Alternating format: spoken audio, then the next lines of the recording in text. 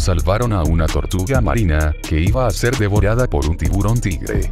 El hecho ocurrió el 22 de noviembre del 2020, cerca de las Bahamas. Dos pescadores salvaron a una tortuga marina, que había sido atacada por un tiburón tigre.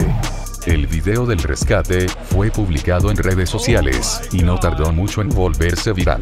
Kai Survance y su compañero Bronson Russell se encontraban navegando a tres millas de la costa del país caribeño cuando vieron una escena propia de la naturaleza. Un depredador mordía a su presa. El escualo había atrapado a una pequeña tortuga marina que luchaba por escaparse. Segundos después, la tortuga parecía querer subirse a la embarcación de Survance y Bronson, en un intento por sobrevivir.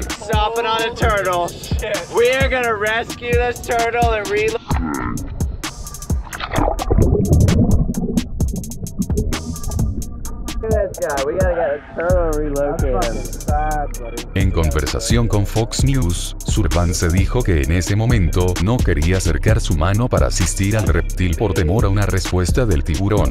De acuerdo a su relato, pensaron en la posibilidad de que el escualo se relajara y soltara a su presa por un momento. Para fortuna de ellos, esa situación ocurrió y entonces decidieron actuar con rapidez. Vamos a rescatar a esta tortuga y reubicarla, explicaron en la secuencia. Bronson sacó a la criatura marina del agua, la apoyó en el bote y luego se alejaron de allí.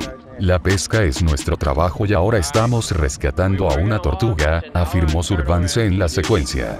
Sobre el final del video, se puede observar cómo los dos dejaron al animal en el mar, a millas de la zona donde fue atacado.